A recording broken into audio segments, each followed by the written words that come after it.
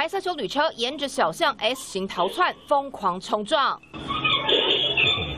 像是碰碰车似的接连冲撞，原来他被警车围捕，还想逃，过程中还撞到一名男骑士，多处擦伤，受伤倒地。然后突然间，下面那台车就开始往上冲刺，啊他就往我直接正面冲撞。嫌犯接连冲撞四台警车，发现无路可逃，还想倒车逃逸，警方持警棍破窗，喷洒辣椒水，才终于将人制服。原来这名刘姓嫌犯开的是台赃车，挂的车牌也是偷来的。上个。月，他先到普盐偷走这一台白色修旅车，接着六月五号又到云林偷机车。夸张的是，他有如大力士将机车扛起塞进后车厢。事隔一天，他又到彰化大村偷走同款修旅车车牌，还将车牌调包。然后同事就问我说：“哎，你换车了？”我就说：“没有啊。”我问说：“为什么会这样讲？”他说：“因为车牌不一样。”嫌犯犯案累累，四辆警车、真房车车身、车头被撞得密密冒冒，可见。撞击力道之大，